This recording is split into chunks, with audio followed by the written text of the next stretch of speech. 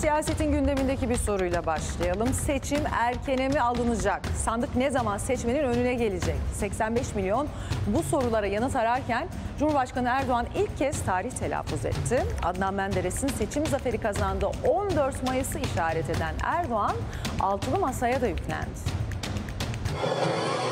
Rahmetli Menderes'in 14 Mayıs 1950'de yeter söz milletindir diyerek açtığı yolu 2023'te yeter söz de karar da milletindir diyerek menziline beraber ulaştıracağız. Sandık tarihi için kulislerde 14 Mayıs konuşulurken en güçlü sinyali böyle verdi. Adnan Menderes'in 73 yıl önce o gün seçim zaferi kazandığını hatırlattı. Şimdi Fethiye'den öyle bir ses verin ki etrafındakiler ve altındakilerle masanın ayakları titresin. Yeter!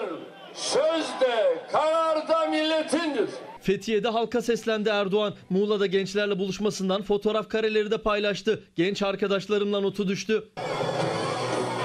Seçim hazırlıkları önceliğindeydi. Hayat pahalılığı sürecinde hep milletimizin yanında yer aldık dedi. Sandık önümüze geliyor.